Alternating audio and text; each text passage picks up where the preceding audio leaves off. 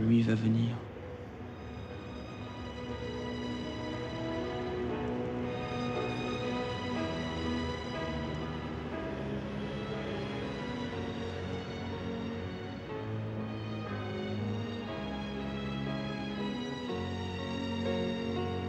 C'est un personnage qui est né dans un pays décolonisé. La C'est un personnage qui est né sous le signe des.